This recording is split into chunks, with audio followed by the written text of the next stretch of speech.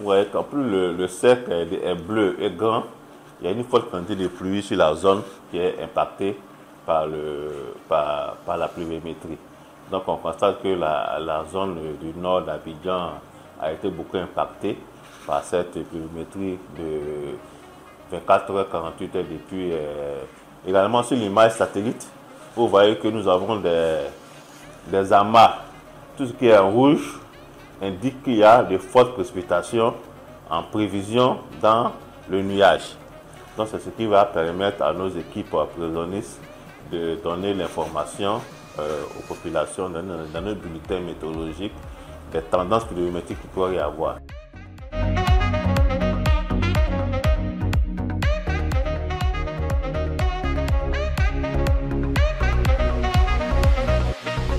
Alors, ça, c'est un équipement que nous, venons d'installer euh, euh, au niveau du stade de pour permettre euh, la planification des travaux actuellement en cours sur le, stade de Donc, les informations recueillies sont fournies aux différentes entreprises sur le terrain, leur permettent de pouvoir planifier les activités en fonction de la, de la.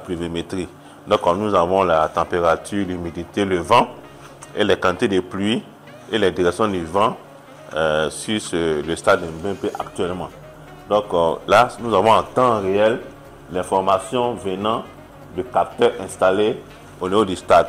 C'est ce système que nous allons déployer sur tous les six stades pendant la canne. Donc en temps réel, nous allons avoir des informations en temps réel sur l'ensemble des six stades euh, de, compétition. On va avoir la température, l'humidité, la pluviométrie, euh, le vent pour informer les, organisateurs de la Cannes sur les éventuels changements qu'il pourrait y avoir pendant les compétitions avant et après.